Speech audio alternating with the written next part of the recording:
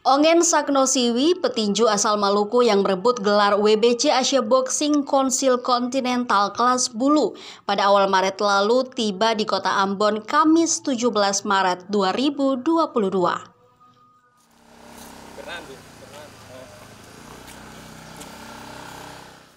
Ongen Saknosiwi yang tiba di Ambon Kamis 17 Maret 2022 langsung menyambangi SMP Angkasa yang berada di area Markas Komando Pangkalan TNI Angkatan Udara Patimura Ambon.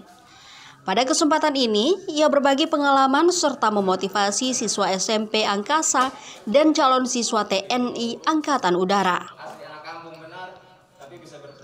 Untuk sampai pada tinju tingkat internasional, tidak hanya membutuhkan kerja keras, namun komitmen dan alasan yang kuat adalah dasar utama yang harus dimiliki oleh seorang atlet.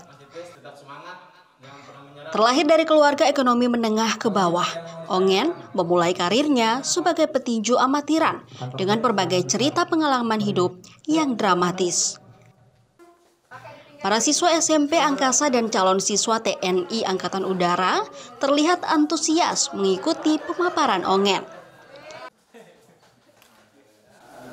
Saya berlatih di sesana WM Sapulete Boxing yang almarhum Pak WM, mantan polisi. Saya lulus 2011, saya berangkat ke ke Jakarta di Tangerang ya tepatnya. Dan saya berlatih di sana.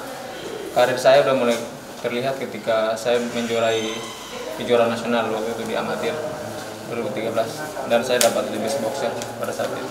Saya pengen lawan petinju Filipina Mark Maksayo. Dia sekarang pemegang juara dunia WBC. Mm -hmm. Yang sekarang dan saya targetnya dia.